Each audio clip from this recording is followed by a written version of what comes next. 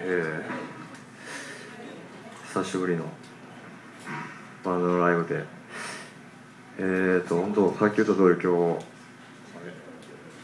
ドラムやってんだえーと初めてなんですけどね。ちょっと最初やからメンバー紹介みたいなのしとこうかなと思いまして。えーとドラムから行きたかったんですけどあいける。かわいい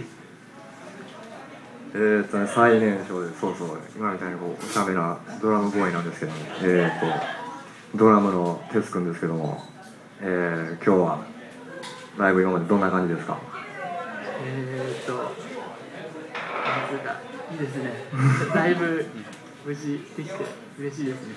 ああそう。5月ぐらいに僕ら、えー、と知り合ってそれでそこからあの途中ライブとかやりたかったんですけど全然できなくて。でまあ今日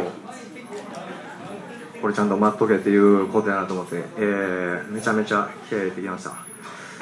えー、次ベースの、ね、りゅうちゃんですね。りゅうたくん。えー、と彼はあの山際っていうあの珍しい名字なんですけどもなんとあの最近あの海際っていう人と知り合いになったの。それで大丈夫やったあの山と海であの喧嘩とかせんかった ほんまに？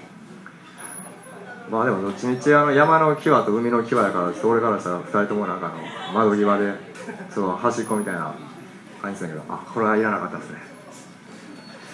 えー、とんで僕があのギターボーカルの、えー、後藤というもので、えーとね、三章っていう名前でずっと弾き語りやバンドやってて、えー、とずっとバンドやりたかったんですけどあのなかなか見つからなくて。で今日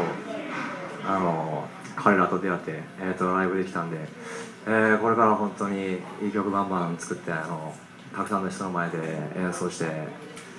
楽しみたいなと思うんで、えー応援よろしくお願いします。じゃあ一曲踊れる曲を「